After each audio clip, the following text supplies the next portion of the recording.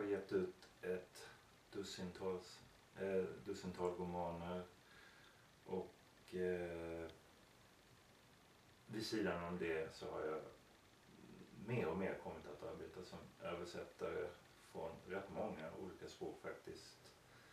Eh, mest dock polska, danska, franska och eh, på senare år grekiska.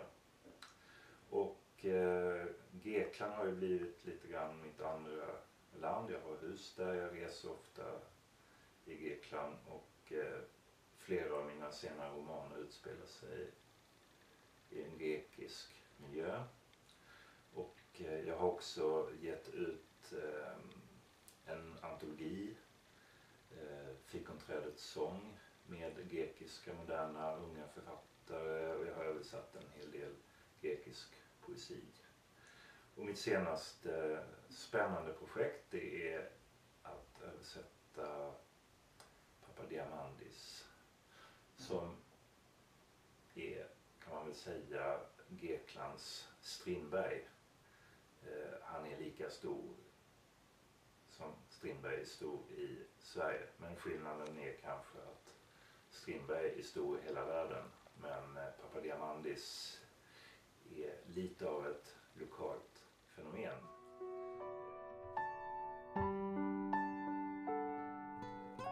Det är så otroligt bra. Och varför är det så bra? Jag tror att, att jag tycker att han är en väldigt modern författare. För han, kommer, han tränger väldigt nära in på eh,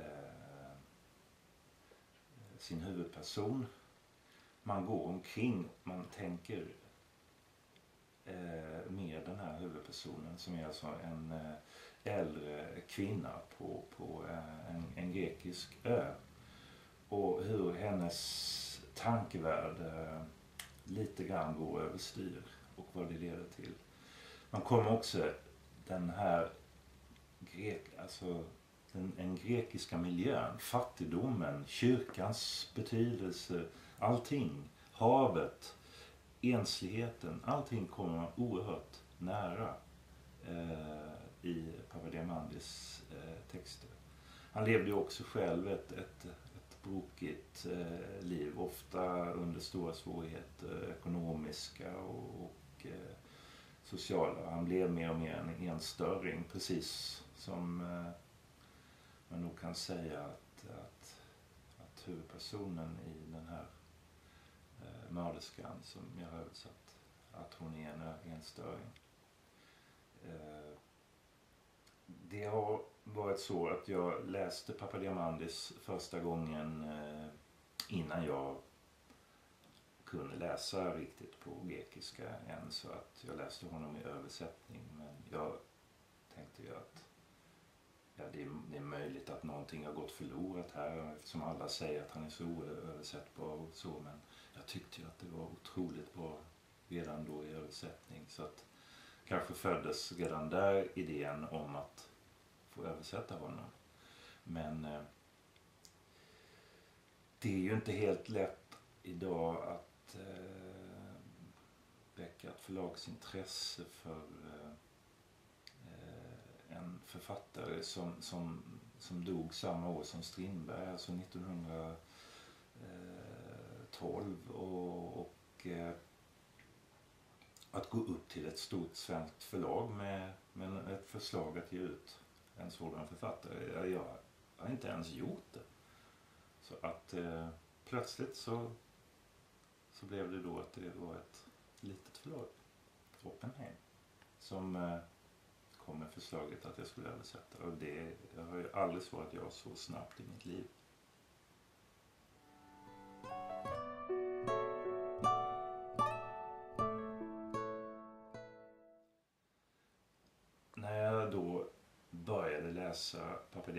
Papadiamandis på eh, grekiska med eh, då vissheten om att jag hade tackat ja till att det här ska jag översätta. Då blir jag lite mörkrädd precis till en början för jag tänkte att det här är ju inte den grekiskan jag behärskar. Det här är ju väldigt annorlunda grekiska. Det är kyrkogrekiska, det är en massa svåra ord jag aldrig har sett och, och dialektala vändningar och väldigt märklig blandning av olika saker. Men eh, det intressanta är att när man väl lyckas forcera de där barriärerna i början så kommer man långsamt in i hans språk. Och man sugs ju in också framförallt i huvudpersonens tankegångar. Eftersom jag också är väl bekant med eh, grekiska naturen ute på öarna och så, så, så, så kunde jag, det var som om jag såg miljöerna framför mig medan jag, när jag läste, när jag tog mig igenom hans text.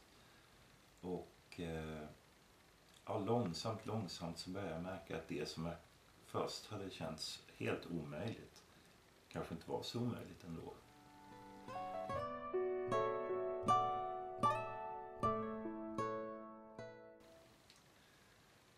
Ja, den behöver ju...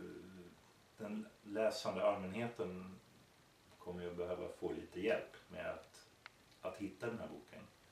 Men jag tror ju att det är ganska mycket fokus på Grekland just nu och eh, den grekiska eh,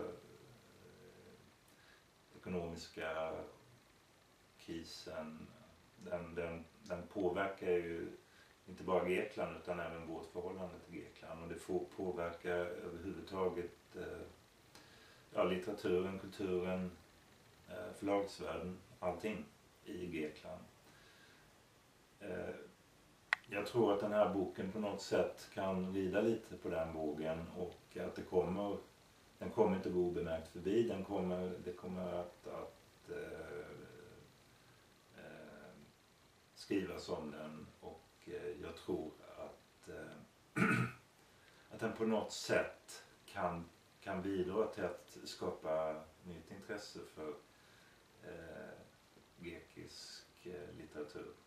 Eh, jag tänkte till exempel tidigare då när jag gjorde en översättning av, av moderna unga grekiska novellister och författare som kanske inte var så kända att, att det skulle vara ett bra sätt att skapa ett intresse för grekisk litteratur mer än ah, om jag hade gått och valt de etablerade författarna som redan är väldigt etablerade och kanske ah, fortfarande skriver men, men eh, har en lång, en lång verksamhet bakom sig.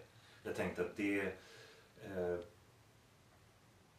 var något man kunde vänta med. Eh, nu tror jag att tiden är mogen för att, att verkligen också se på eh, grekiska klassiker. Eh, det är ju så att, att även om man kan säga att Papadiamandis eh, verkar vara en, en, något av en kuf som sitter på en, en liten ö på 1800-talet och eh, senare 1800-talets slut och, och, och skriver eh, noveller om bybor. Ehm, att det är ganska avskilt från, från den moderna europeiska litteraturen men det är ju inte alls så. Han är naturligtvis också påverkad eh, av eh, eh av eh, den stora litteraturen, den europeiska litteraturen som även vi eh, relaterar till. Och han, han var mycket språkbegåvad och eh, han lärde sig tidigt eh, både franska och eh,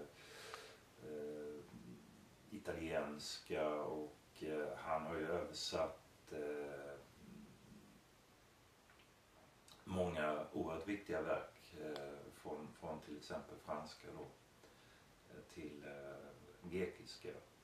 Så naturligtvis så eh, går det att känna igen strömningar även när man läser Papilldiamant. Och jag tror att, att, att han kommer att skriva om lite grann den europeiska eh, litteraturhistorien nu när, när, eh, när hans verk också blir tillgängligt på svenska.